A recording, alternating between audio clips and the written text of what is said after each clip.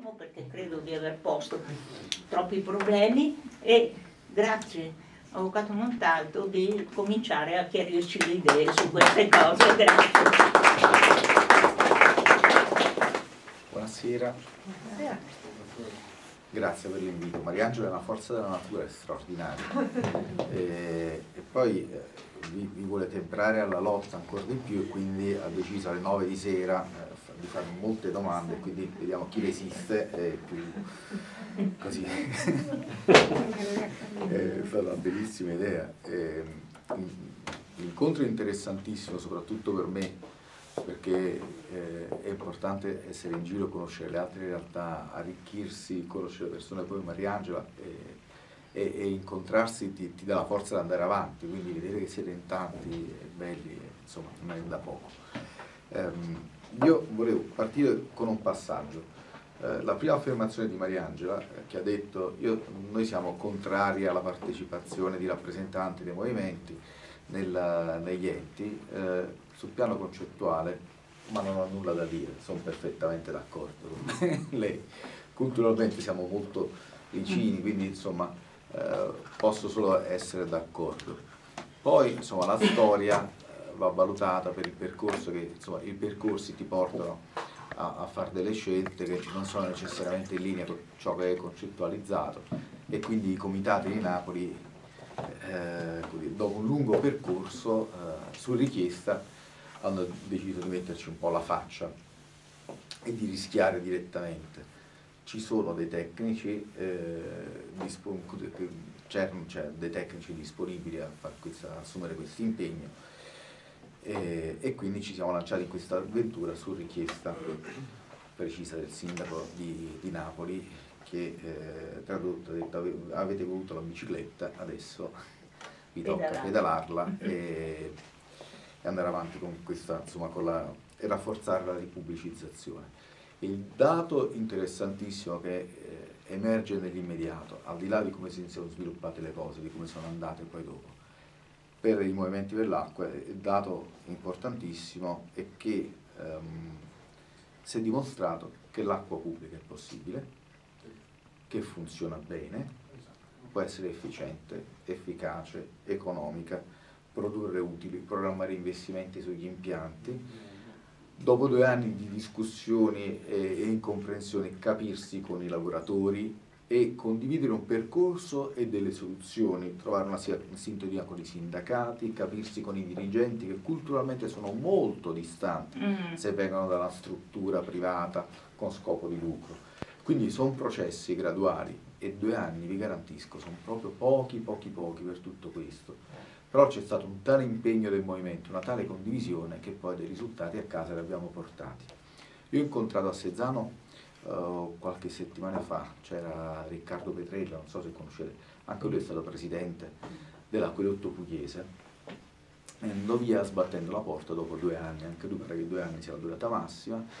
Eh, sì, perché Nichi Vendola non volle ripubblicizzare l'acquedotto pugliese eh, eravamo ad un incontro sull'utopia e si discuteva del concetto di utopia, poi eh, per noi in conclusione è qualcosa di assolutamente realizzabile, il mondo si è evoluto sull'utopia che ha realizzato, ve l'ho proprio sintetizzato, insomma, però eh, ne abbiamo discusso per parecchio tempo. E lui diceva, eh, parlando, eh, noi siamo così, due esperienze negative, non ha funzionato. Io non ero d'accordo e poi abbiamo pare che sia venuto sulle mie posizioni. In realtà lui ha fatto un pezzetto del percorso, ha lavorato per due anni e ha fermato il diritto all'acqua. Ha chiesto che l'acqua fosse, fosse, pubblica. Non gliel'hanno accordato, benissimo. Poi è arrivato a Napoli. Abbiamo fatto altri due anni, abbiamo dimostrato che si può fare, che può essere efficiente, economico e efficace, le cose che dicevo prima, insomma, più tante altre probabilmente toccherà a Torino adesso, fare altri due anni almeno, perché altrimenti...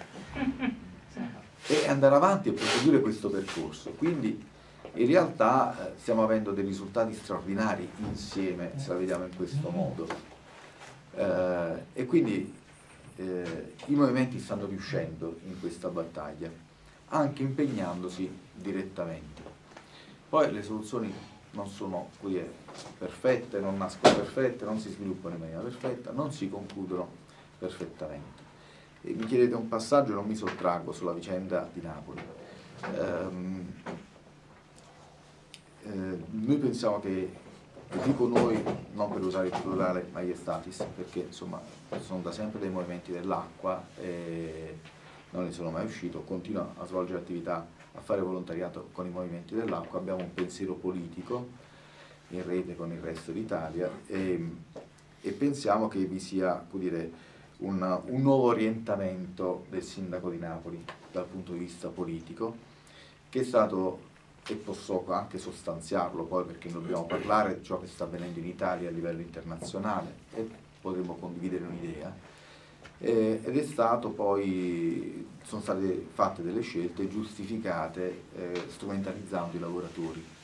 Nella sostanza mi si chiedeva l'assunzione di 107 lavoratori nell'azienda dell'acqua che non ne ha bisogno al momento eh, perché deve portare dentro sicuramente il sistema fognario e poi la depurazione e in assenza di un piano industriale come rilevato dal segretario generale del Comune di Napoli che nelle sue osservazioni dice non si può fare, in assenza di una copertura economica rilevata dal Collegio dei Revisori dei Conti, garanti del Consiglio Comunale che dice ti devi fermare perché non si può fare, eh, hanno bloccato gli stipendi di questi signori che lavorano in un ex consorzio, impegnati in un ex consorzio, non li hanno pagati li hanno caricati a molla, così che luglio non è stato pagato, agosto non è stato pagato, a settembre l'assessore al lavoro si è presentato in commissione bilancio e ha detto noi non possiamo pagare perché non passano ad ABC. Naturalmente potete immaginare,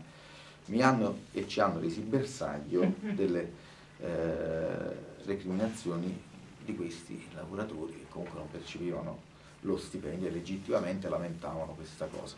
Insomma è stata l'occasione per revocare un consiglio d'amministrazione intero scomodo. E siamo a novembre, comunque non si è fatto nulla dal 15 dicembre, anzi una delibera del comune rinvia tutto all'anno prossimo almeno. Quindi insomma era chiaramente un'occasione, eh, lo sappiamo capita, un po' messa in piedi per giustificare una strategia di exit in malo modo. Ehm, veniamo alle cose che ci piacciono di più e molto interessanti.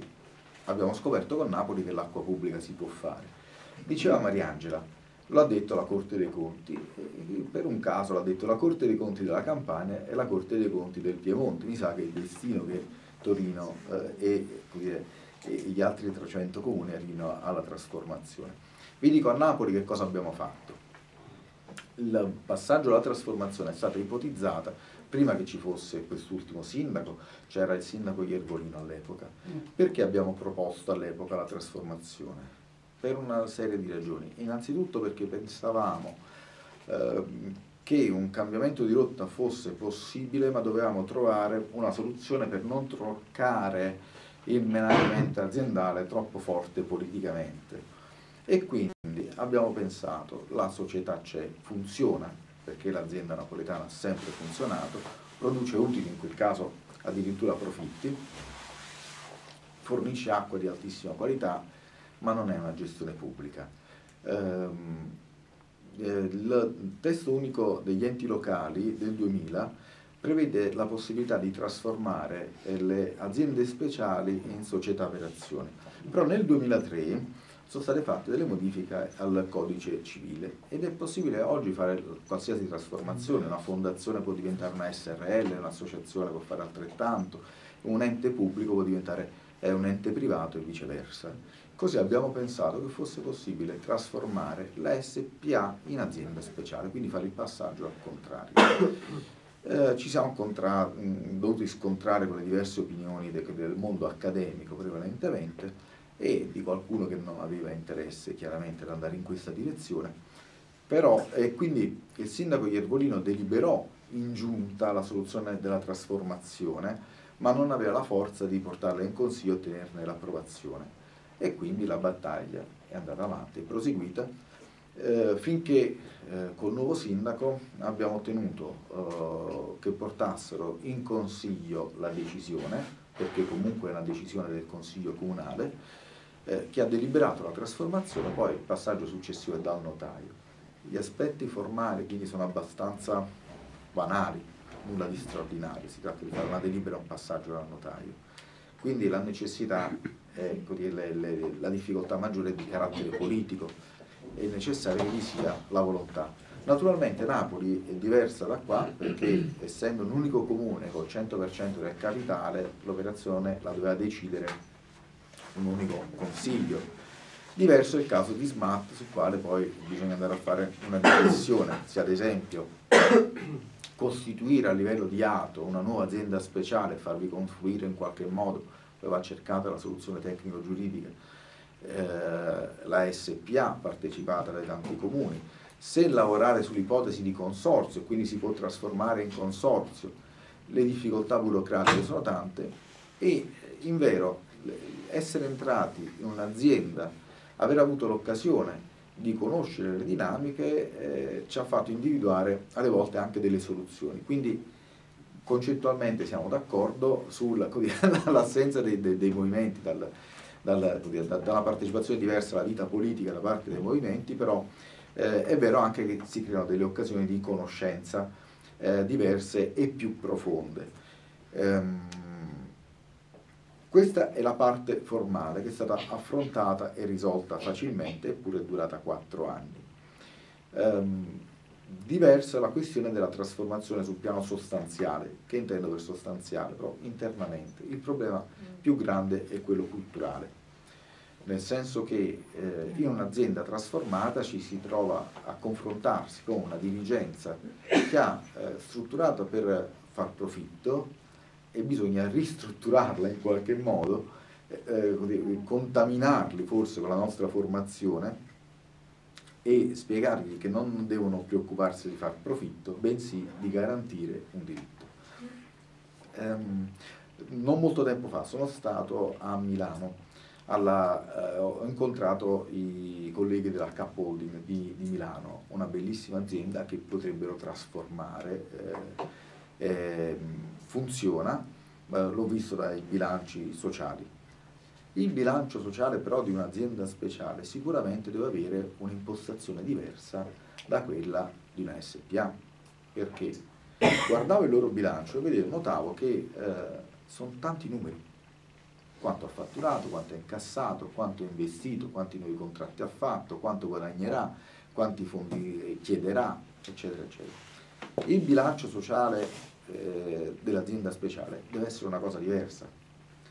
Come riesce a garantire il diritto all'acqua, la durata, i tempi degli interventi, se qualche numero lo diamo, se riesce a contenere le tariffe, se riesce a trovare la soluzione per dare l'acqua a chi non ha la possibilità, se riesce a garantire l'acqua anche a chi eh, non ce l'ha in altri luoghi.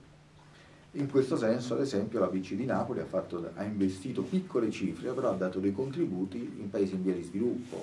Allo stato dovremmo essere rimasti a 8-9 progetti, perché dopo credo non sia stato fatto altro, però in, in uh, 9 paesi in via di sviluppo sono stati realizzati pozzi, che ne so, nella striscia di Gaza è stata data una, i, le risorse, sono state date le risorse per acquistare una cisterna d'acqua, in altri luoghi è stata realizzata una parte di rete idrica, perché se diritto, di diritto all'acqua parliamo, parliamo di un diritto universale e dobbiamo impegnarci per garantirlo a tutti. Diverso se abbiamo un approccio al business e quindi l'obiettivo è far profitto. Vedete che sono due...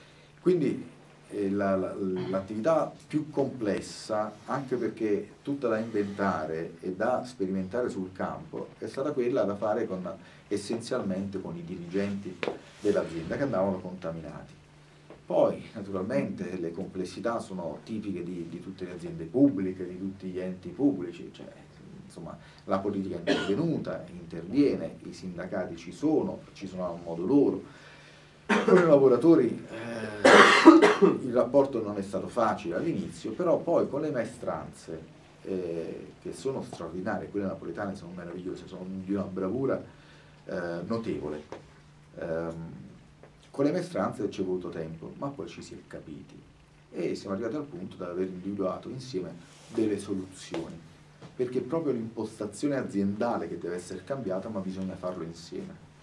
Ehm, per pubblico non si può intendere soltanto il passaggio dell'atto notarile, si deve intendere un'azienda che tende a governare tutti i processi all'interno, garantire la qualità del servizio ai cittadini, ma anche garantire la qualità dell'impegno dei lavoratori, la sicurezza dei lavoratori e quindi eh, la stabilità delle famiglie deve essere un obiettivo e quindi portare quanto più dentro e rendere più solido. E quindi il progetto era avviare, e questo è stato l'ultimo consiglio d'amministrazione purtroppo, nel corso del quale si è raggiunto un accordo con i sindacati sulle internalizzazioni da fare.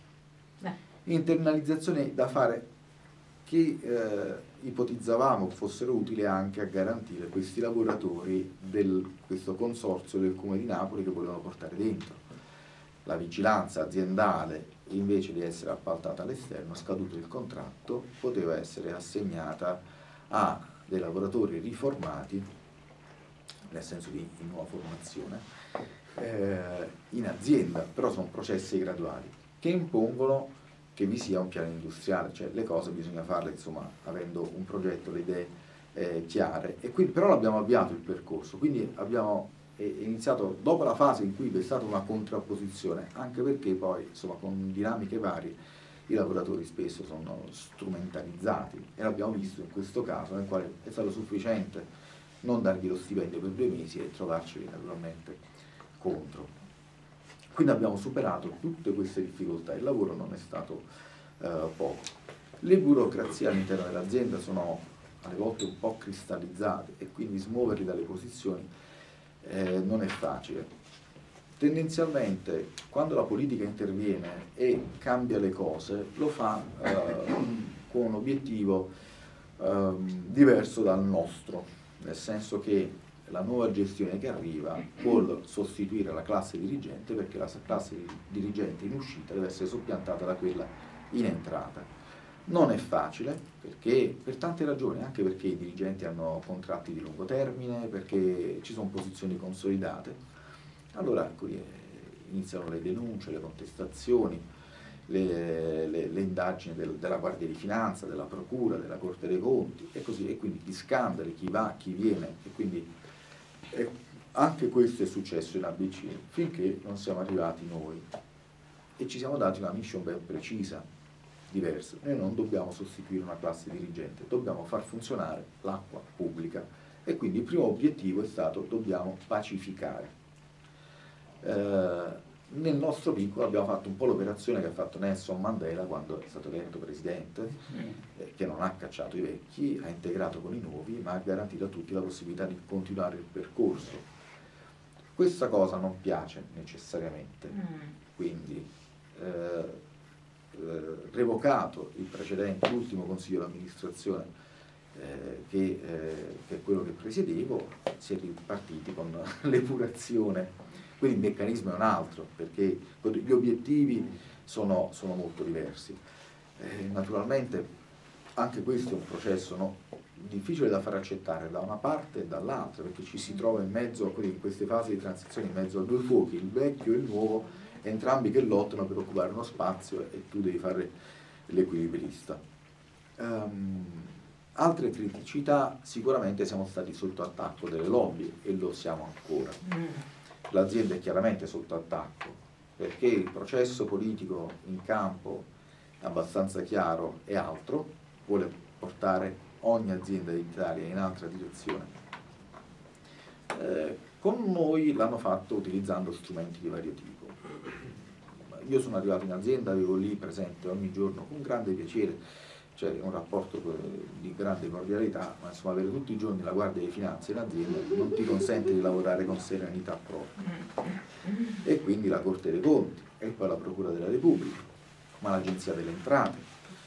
Eh, nel corso di un anno e mezzo sei accertamenti dell'Agenzia delle Entrate per un totale di 60-70 milioni di euro, quindi assegna l'incarico al legale che ti deve seguire, tributarista di chiara fama, perché insomma la questione era delicata, abbiamo vinto sei ricorsi alla commissione di primo grado, una sentenza della commissione di primo grado chiede eh, di mandare gli atti alla Corte dei Conti e pone un quesito. Perché l'Agenzia delle Entrate sta perseguitando la BC ed è stata chiara, abbiamo vinto l'appello e alcune le abbiamo vinto già in Cassazione, altre sono ancora, sono ancora in corso. Quindi l'attacco alle volte è sfacciato, io l'ho denunciato anche in altre sedi, in audizione al Senato, l'ho detto a chiare lettere, insomma, quando abbiamo discusso della legge nazionale. Certo che il pubblico ha difficoltà a funzionare, si approvano norme che non gli consentono il funzionamento, si favoriscono delle forme di gestione diverse, poi siamo sotto attacco di qualsiasi soggetto, insomma abbia la possibilità di dire la sua sull'azienda, eh, sfido chiunque a insomma, avere la capacità di, di, di, resistere. Naturalmente anche gli accertamenti, le verifiche, i punti di vista dell'ANAC e dell'Autorità Nazionale per l'Energia Elettrica, Gas e Servizio Idrico non, non sono mancati, quindi al di là della complessità della gestione si aggiunge tutto questo, è un carico, insomma un di più e vi dico che l'azienda chiaramente non ha degli uffici che si dedicano a questa parte, a questo pezzo, perché si è sotto attacco. Quindi queste sicuramente le criticità che sono dovute affrontare, quindi preparatevi a questo e qualche altro, perché avranno sicuramente qualcosa in serbo per la ripubblicizzazione di Torino e ci sorprenderanno. Eh, positività, sicuramente che con un processo culturale durato almeno due anni con un'attività di comunicazione e di informazione sia interna all'azienda che col territorio, perché il fenomeno è stato interessantissimo. Um, si è riuscito a cambiare qualcosa perché i lavoratori uh, non hanno più avuto paura della ripubblicizzazione, mm. li hanno terrorizzati problemi sulle pensioni, problemi sulle previdenziali, problemi... non è vero, semplicemente non è vero. Poi abbiamo dovuto ragionare e smontare. Avevano paura di questi mostri dei, dei, dei movimenti che volevano portare un po' di legalità, di, di, di correttezza, di trasparenza. In realtà se ne sono avvantaggiati tutti, perché non hanno subito dire, eh, l'impatto della venuta dei movimenti perché insomma noi ci teniamo a garantire la qualità dei lavoratori, l'azienda aveva un asilo eh, per i, i, bimbi dei dipendenti aperto tra l'altro al territorio, ha continuato a funzionare con la nostra eh, gestione, ma poi è stato garantito il telelavoro ai dipendenti, sono stati riconosciuti dei premi, quindi eh, passate le prime paure si è iniziato a ragionare in termini di acqua pubblica, quindi si è spostata la loro attenzione sull'acqua pubblica ed è stata una grande occasione anche per i movimenti. Dall'inizio abbiamo provato a mettere in campo un sistema di partecipazione democratica. Ora non è che abbiamo mai fatto grandi esperienze nel settore non essendo mai entrati nell'azienda e non essendoci stata data l'occasione. In precedenza è stato modificato lo statuto dell'azienda prevedendo l'istituzione di un comitato di sorveglianza. Al di là del fatto che dipendeva dall'amministrazione comunale, non dall'azienda, il funzionamento del comitato, io non ero molto favorevole a essere sorvegliato, io voglio condividere, non ho bisogno di essere mm. osservato, sorvegliato, insomma non, non sono lì per commettere nessun crimine, però apriamo porte e finestre e condividiamo i percorsi con i territori perché vi dico che la forza della ripubblicizzazione è la condivisione. Cioè più maggiore la consapevolezza dei territori, maggiore la protezione che ricevi. Quindi la soluzione è aprire le porte e condividere. Come abbiamo fatto? Inizialmente naturalmente i rapporti erano con i comitati dell'acqua, vengono da lì, però non è che abbiamo escluso rapporti con il centro sociale, con il cittadino attivo, col comitato d'altro tipo, ci si è aperti a tutti si è lavorato molto sulla comunicazione mm. istituzionale, eh, le bollette sono diventate quasi un giornalino, all'interno si è informato sull'attività dell'azienda, ma poi si è andato un po' in televisione, si è fatto uno sforzo anche in questo senso. Ma la parte più interessante è stata la partecipazione ai consigli di amministrazione, cioè invitare dei cittadini, dei comitati o meno, al consiglio di amministrazione e dirgli sì, questa qui, puoi partecipare, puoi anche dire la tua. Naturalmente poi la decisione compete al Consiglio di amministrazione, quindi quando è il momento di decidere per statuto devi uscire. Come è avvenuto questo processo? Che ha fatto un po' inalberare qualcuno, perché lo statuto dell'azienda prevedeva la possibilità per il Presidente di eh, convocare per ascoltare e per aggiornare, per, per approfondimenti. Ho pensato la norma fosse applicabile anche ai cittadini, che voleva ascoltare, voleva conoscere il punto di vista. Probabilmente ha un'origine diversa, nasce per ascoltare il dirigente che deve riferire su un'attività sulla quale devi deliberare, ma questa cosa nello statuto non era precisata, motivo per il quale abbiamo aperto. Inizialmente il Consiglio di amministrazione aveva una struttura piuttosto classica, io ero il presidente, veniva dai movimenti, però gli altri quattro componenti erano stati selezionati con criteri un po' diversi. Questa cosa è durata, dire, tra pugni eh, sulle porte e sui tavoli, litigi eh, furiosi, è durata 6-7 mesi, dopodiché si sono dimessi. Ma non c'erano contrasti nel merito delle decisioni, anzi grande accordo, ma il metodo non veniva compreso. E lì purtroppo non si è riusciti a contaminarli su, sul nostro metodo e dopo sei mesi si sono dimessi. Così è iniziata la fase di commissariamento, il sindaco mi nominò commissari, siamo andati avanti, abbiamo ristrutturato e nel corso del commissariamento si è pensato con i movimenti di istituire un, comitato, un consiglio civico, che è l'assemblea dei cittadini che si incontra e discute delle tematiche aziendali del funzionamento dell'azienda, delle questioni interne, ma di tutto, di tutto, abbiamo deciso insieme le tariffe, abbiamo deciso insieme gli appalti, abbiamo deciso tutto, tutte le questioni all'ordine del giorno. Il che ha costretto tutti a studiare e a capire i meccanismi con, mm. con i quali funziona l'azienda, quindi ad andare molto più a fondo de, de, della battaglia che noi facciamo con grande impegno e che comunque ha le sue belle difficoltà e gli studi e, e, che ci impone ehm, si è costituito il Consiglio civico che si è autoregolamentato come commissario, semplicemente ratificato quel regolamento e poi ha espresso con il buon senso, senza meccanismi di maggioranza, lì non, nel Consiglio civico non hanno funzionato i numeri, non sono prevalse le, le, le maggioranze. Eh, con il buon senso sono stati espressi quattro nomi di di persone che avrebbero partecipato, stati, che erano essenzialmente gli interlocutori dell'organo amministrativo, del consiglio di amministrazione dell'azienda. Interlocutori significa che devi avere quattro poste elettroniche di riferimento per mandare l'invito e dire guardate che c'è il consiglio di amministrazione, il che non escludeva la possibilità per altri di venire o per altri movimenti, per altri comitati, piuttosto che centri sociali che pure hanno avanzato questa richiesta ai quali è stato detto di sì, quindi di partecipare al consiglio di amministrazione, però sapete insomma le, le giornate sono complesse, alla fine insomma al consiglio di amministrazione al massimo due o tre persone potevano venire anche perché sono continui, ma è stata un'esperienza importantissima perché eh, quando abbiamo ricevuto ad esempio delle, delle, no, delle sanzioni dell'autorità nazionale per energia elettrica, gas e servizio idrico, i cittadini hanno scoperto, leggendo le carte analizzandole insieme, che c'è una responsabilità interna all'azienda e che quindi dei soldi andranno restituiti. E quali sono i meccanismi, quali sono le responsabilità, che cosa è avvenuto? Sono entrati nei, e, e, e, in qualche modo si sono anche responsabilizzati e si è deciso insieme qualche, che, che percorso fare per risolvere la questione, perché dei soldi andranno restituiti.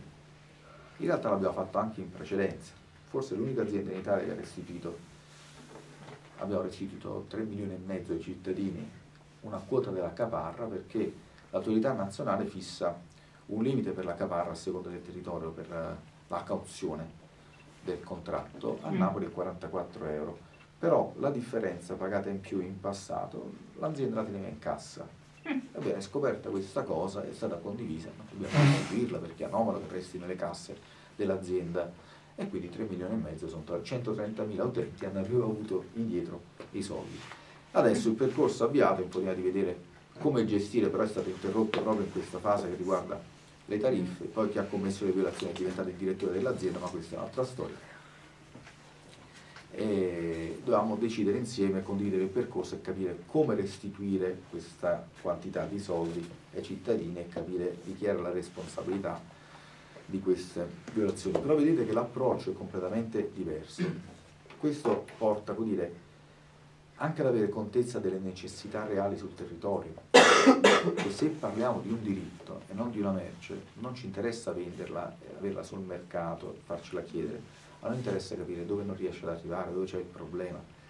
In questo senso è stato interessantissimo il rapporto con i lavoratori, ho trovato una grandissima umanità. Vedete, se è stato difficile il rapporto con i dirigenti, in questo senso non lo è stato con le maestranze, che sono meravigliose perché vivono tutti i giorni a contatto con i tubi, con l'acqua e con le persone. E quindi loro sono i profondi conoscitori del valore dell'acqua. E quindi mi permetto di suggerire qui a Torino, eh, magari li seguite, cercate di conoscerli, di, di comprendere il lavoro che fanno perché è molto impegnativo. Immaginate che la gestione della rete idrica è la gestione di un'industria diffusa su un territorio vastissimo, è una cosa di una complessità straordinaria. E dipende da loro, dalle loro capacità, dalla loro professionalità. E quindi in azienda ho fatto questa scoperta. E ricordo una volta che su incarico della procura è stata staccata l'acqua in un palazzo occupato abusivamente, ma lì c'erano delle famiglie disagiate, perché non va a occupare il benestante, diciamo, famiglie disagiate, qualcuno con bimbi malati e con portatori di handicap, e però su ordine della procura l'azienda ha dovuto tagliare, la forza pubblica ce l'ha imposto poi di sera hanno dissequestrato il fabbricato perché insomma è stato attivato un processo, ma non siamo stati autorizzati a riattaccare l'acqua. I lavoratori non si sono formalizzati, sono tornati, hanno rifatto l'impianto, hanno riallacciato l'acqua. Eh. Sono stati meravigliosi in questo. Mm. Hanno preso i nomi di tutti, se li sono segnati per verificare insomma, se commettessero o meno un reato, e però sono stati coraggiosissimi. Certo. Questo è il coraggio. Eh il coraggio non è forzare sulle assunzioni perché c'è un impegno pubblico e non trovare una soluzione concreta, definitiva, duratura che garantisca il lavoratore. Non è quello il coraggio. Il coraggio sta nel dire no, secondo noi, quando è il momento di dire no, e nell'esporsi, lo abbiamo fatto per due anni, perché guardate, da commissario a provare i bilanci da solo per un fatturato di 130 milioni di euro, vi garantisco vi tremono le prime polsi, perché insomma è una cosa impegnativa. Ma questa è un'altra esperienza che ci ha fatto comprendere anche le tensioni di chi vive dall'altra parte. Quindi eh, c'è una grande positività in questa esperienza. Um, questo eh, momento è diverso da uh, storico, è diverso da quello di qualche mese fa, di un anno fa, perché vi sono dei processi di lobby che avanzano eh, in realtà la Banca Centrale Europea già inviò i suoi diktat al governo Berlusconi e disse quali erano i suoi desiderati, poi dire, qualcuno sostiene che la JP Morgan ha scritto la nostra riforma costituzionale. Si va sostanzialmente in quella direzione, il governo segue quegli indirizzi, eh, alcune norme l'abbiamo portata dinanzi alla Corte Costituzionale perché nonostante il referendum ci provano di continuo ad impedirci di ripubblicizzare i servizi, tutti i servizi pubblici locali, perché il referendum non era limitato all'acqua. E, e, quindi eh, in questo momento il governo sta dando seguito agli indirizzi e sta tentando di imporre un'occupazione del, dell'Italia a pochi soggetti conosco un po' meglio sicuramente la situazione del centro-sud, quindi non me ne vogliate, ma io il quadro chiarissimo del nord non ce l'ho. Penso che essenzialmente lo, lo vogliono frazionare in tre, eh, assegnare a tre grandi gruppi, um, il centro-sud invece ad un unico soggetto. Eh, non è una nostra illazione, non è una nostra teoria, in realtà l'ha dichiarato, ci è stato confermato dal direttore generale del Ministero dell'Ambiente alla trasmissione presa diretta più di un anno fa. E, e poi l'abbiamo trovato nella relazione annuale dell'autorità per l'energia elettrica gas e servizi idrici. In ultimo, se avessimo avuto dei dubbi, il, direttore generale del, della Presidenza del Consiglio dei Ministri ha presenziato l'incontro dell'ANCI da Emiliano, per trovare Emiliano a Bari, qualche settimana fa e ha detto noi vogliamo e faremo il gestore unico del centro-sud Italia. A proposito di Costituzione, esautorando completamente gli enti locali, perché sono competenze degli enti locali, il governo nazionale non c'entra in questa storia. L'interesse nazionale, no? Eh. E, e quindi eh, era presente l'autorità per l'energia elettrica e gas e sistemi idrici, era presente Emiliano che ha sposato questa linea, era presente De Magistris che è rimasto in silenzio. Pensiamo che togliendo i comitati dal, dall'ABC fondamentalmente abbia tolto quel granellino dall'ingranaggio, perché non si era nient'altro che questo, quel granellino dall'ingranaggio che bloccava questa occupazione del centro-sud. Che come va avanti? Va avanti con una strategia di carattere più o meno militare, definirei, perché c'è un'occupazione innanzitutto delle fonti, delle fonti d'acqua. Quindi del rubinetto principale, e non è cosa da poco dal punto di vista strategico, e delle risorse economiche, perché hanno un valore enorme. Lo stanno facendo essenzialmente due grandi soggetti, la Suez e la Veolia francesi. La Suez generalmente attraverso la CEA e la Veolia, Veolia direttamente con partecipazione in diverse società che gestiscono le fonti. Poi da lì chiaramente puntano ad allargarsi. Contemporaneamente sono in atto altri processi ai quali veniamo immediatamente. Vi faccio un esempio. In Campania l'acquedotto occidentale e grandi quantità d'acqua è gestito dalla, dalla società Acqua Campania, che è 47,9% di Caltagirone, che come sappiamo è entrato in Suez e nel frattempo ha ceduto le proprie quote di Suez, eh, a Suez eh, di Acea in modo tale da rafforzare la Suez all'interno dell'Acea il 47,9% sono detenute da Veolia. Il resto quote di, piccole quote di Impregile International, banche varie e così via. Quindi Acqua Campania di Campano non ha nulla, ha solo il nome, è una multinazionale. Ha occupato le fonti. Eh, nel Molise ci sono importanti fonti d'acqua che sono sotto attacco, si va alla liquidazione dell'azienda speciale e vi sono delle mire della Suez attraverso la CEA. Nel Lazio chiaramente domina la CEA, ma la Violia in Calabria una situazione meno dire, grave, tra virgolette, in Basilicata, lì dove gestisce un'azienda eh, dei, dei, dei, comuni, l'intera regione, però insomma non, non, dovranno impegnarsi troppo per fagocitarla nel sistema. La Puglia l'acqua non ce l'ha, la prende dalle altre fonti. Nel frattempo sono in atto degli importanti accorpamenti. Il percorso che fanno le lobby viene seguito eh, dal legislatore, nel senso che le lobby fanno dei passi in avanti e trovano sempre la copertura normativa che ratifica le loro scelte. Eh, già il decreto Ronchi, che è stato mh, abolito col referendum nella parte in cui impediva la gestione pubblica, prevedeva degli accorpamenti.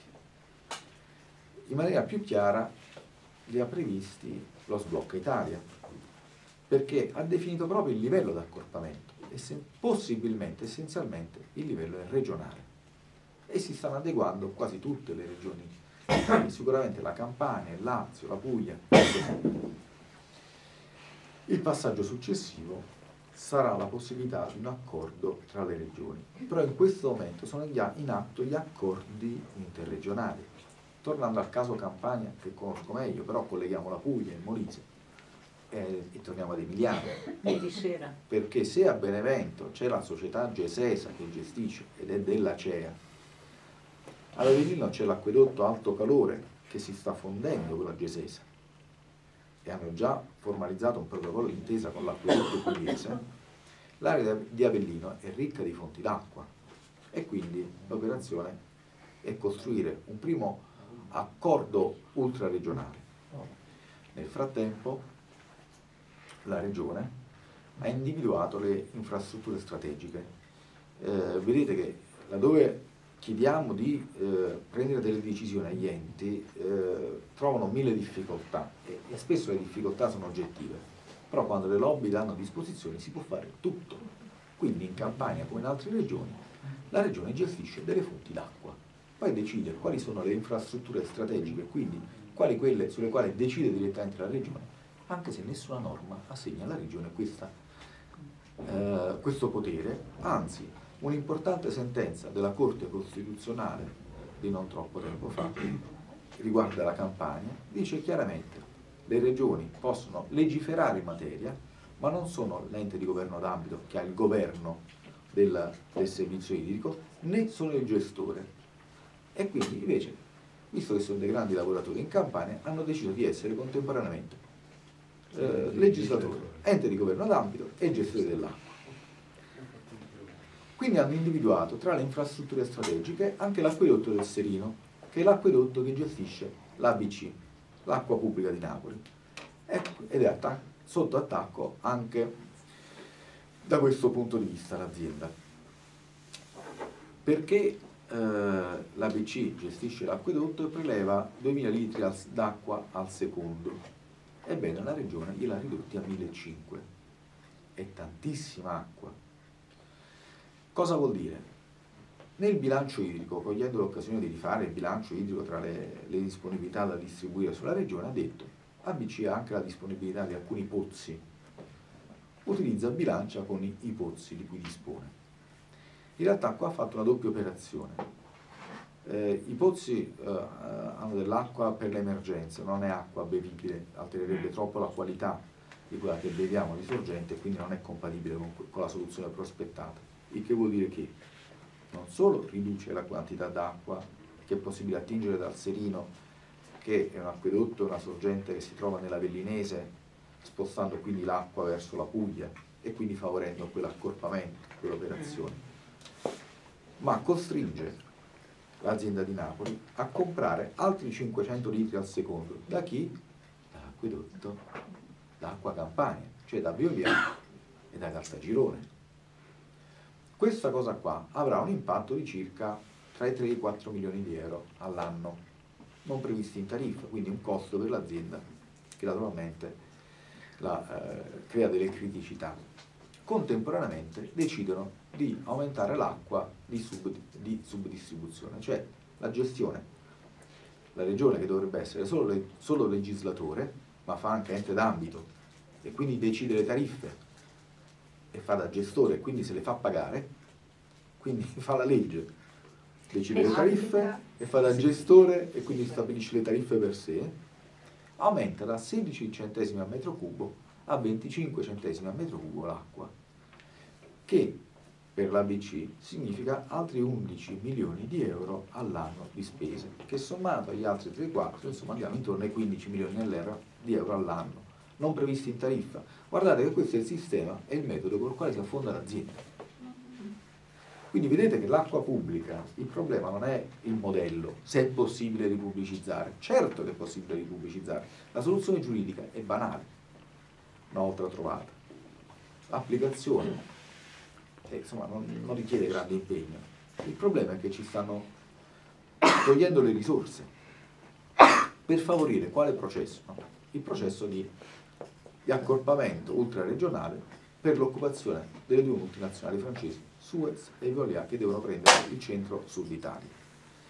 L'impatto sul sistema democratico è enorme, perché stessa operazione al nord, dare in affidamento, ipotizzo, trentennale la gestione del servizio idrico ad un unico soggetto su un territorio così vasto, significa sospendere il sistema democratico nel senso che neanche il Presidente del Consiglio dei Ministri potrà più intervenire su quelle risorse. Figuriamoci il sindaco che era abituato che la mattina aveva il problema della fontanina nella scuola, alzava il telefono e chiamava il Presidente per chiedere di andarla a riparare. E dopo un quarto d'ora si trovava l'operaio. Figuriamoci che può chiamare il Presidente dell'acquedotto della Suez a Parigi per chiedergli in francese probabilmente di andare a riparare la fontanina. Si perde completamente il contatto con il territorio. Quindi con la gestione pubblica noi non solo cercavamo di offrire un, servizio il migliore possibile ai cittadini, ma anche di avere un rapporto diretto con la comunità territoriale e conoscere le necessità, cioè andarle a cercare per risolverle, anticipare le necessità. Con la grande privatizzazione si va in, in, eh, in, in direzione diametralmente opposta. E questa naturalmente è un'operazione facilitata dalla revoca del consiglio d'amministrazione composto da rappresentanti dei movimenti che questa storia la vedono, la leggono, la capiscono, la interpretano e la fermano.